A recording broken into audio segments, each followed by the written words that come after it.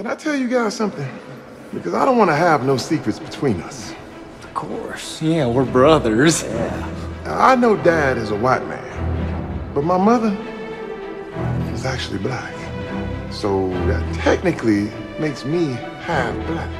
Is that right? I didn't want to hide that from you in case you guys slipped up and made some racial slurs, not knowing I wasn't 100% white. BBC broadcaster Danny Baker was fired after a tweet he posted about Prince Harry and Meghan Markle's newborn son. Baker posted an image of a couple with a small chimpanzee and captioned it with Royal Baby leaves the hospital. Given that Harry and Meghan's newborn is Britain's first royal mixed race baby, outraged people saw the post as the child being compared to a monkey. I'm not racist. My sister's boyfriend's black. The number of individuals who possess a dual heritage in America is growing rapidly at a rate of three times the population at large. Is it because I'm black?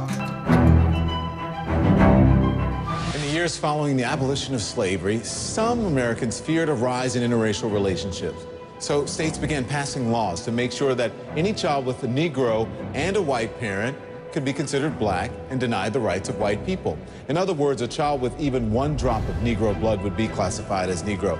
This became known as the one drop rule, a standard ruled unconstitutional by the U.S. Supreme Court in 1967. This and the hardships of racism also caused African Americans to pass, pretend they were white without ever telling their families, leaving a lot of whites not knowing they had black blood.